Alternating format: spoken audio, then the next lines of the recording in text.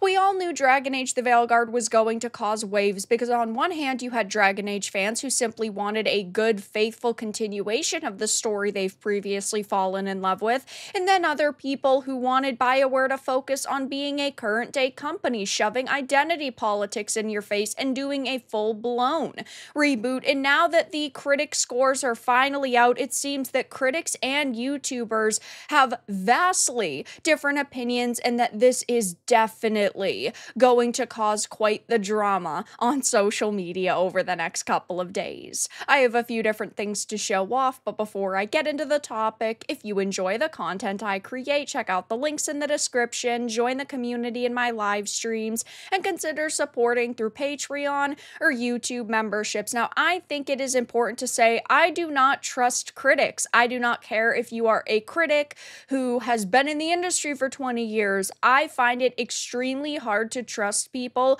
who are getting early access to games, who are being handed multiple opportunities by companies to see a product beforehand because it really just comes across as eh, they probably are going to say they like it in order to continue to stay on that company's good side and get review codes. But right now, the critics and YouTubers who have gotten early access and who have reviewed the game already are extremely divided. But one thing's for certain this game does shove identity politics in your face. And from the bit we understand, it's even worse than we initially expected because we had heard, of course, there was going to be the top surgery scar toggle, which did um, upset a lot of people. Why do you need that in a Dragon Age game other than to, you know, virtue signal and pander to certain groups of people? But now we know that, of course, it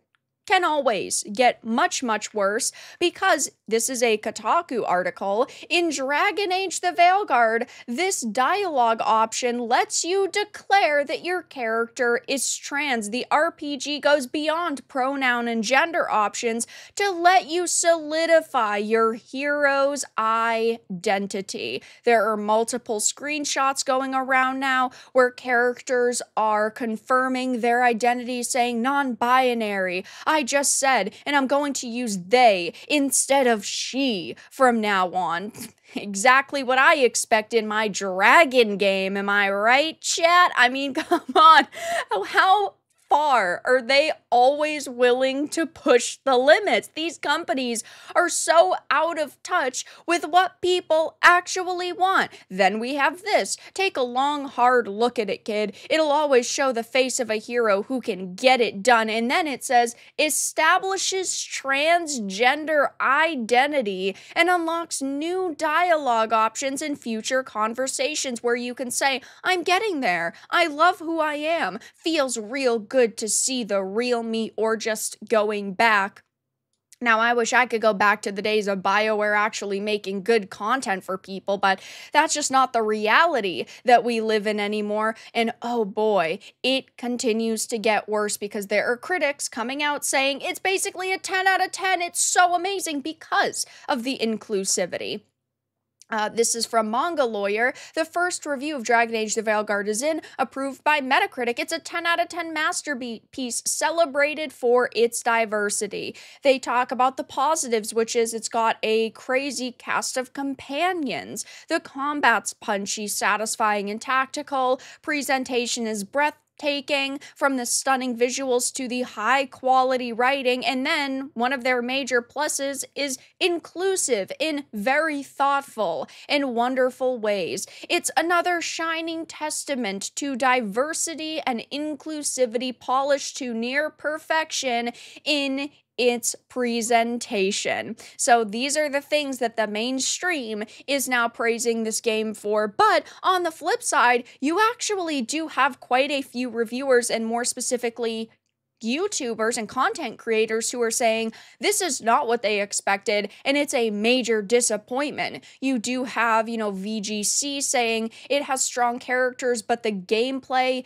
is stuck in the past, giving it a three out of five. And then you have YouTubers like SkillUp and Mr. Matty Plays saying, I do not recommend Dragon Age the Veilguard, and Dragon Age the Veilguard is a big disappointment. Now, I always expected its general scores to be pretty good, and they are for certain. It's sitting currently at an 84, which is right around what I kind of expected.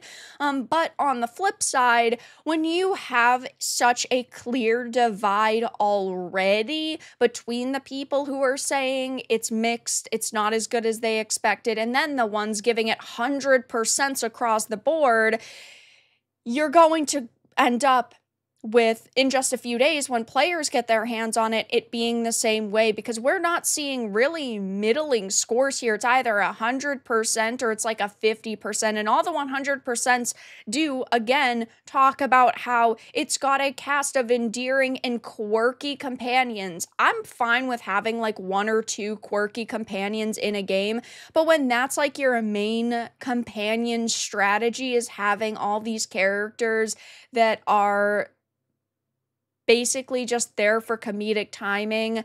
I personally don't like that constantly being shoved in my face. There's also one saying, you know, it's exactly what we needed after Inquisition. From the moment I stepped into the streets, it felt like coming home. I mean, I, I don't want to give any spoilers here, but they're basically saying that, yeah, I mean, it is fantastic. It's a 10 out of 10. That to me is very hard to sit here and believe unless they truly are just trying to give BioWare these, you know, rave reviews so they can stay on their PR list. And maybe in a few days when this comes out, my opinion will be the same. Maybe I'll think it's a 10 out of 10. Maybe I'll think it's absolutely amazing. But this to me has always screamed for a modern audience, right? That they're trying to make a Dragon Age for a new group of people. And in turn, that inherently means that older fans or nostalgic fans get kind of left on the sidelines, which to me, with these reviews, it certainly sounds that way. I mean, I do not think that this is going to be a particularly fantastic situation for BioWare seeing this divide, seeing outlets say it's a new entry that could have brought more to the table, but you know, it's mediocre, it's only a 6 out of 10, and then you've got the shills saying, oh my god, it's a 100, best game I've ever played. And maybe in a few days, once the full launch rolls around and gamers have actually gotten their hands on this title, they'll say the same thing that it is really fantastic, but so far, all I'm really seeing highlighted by the mainstream media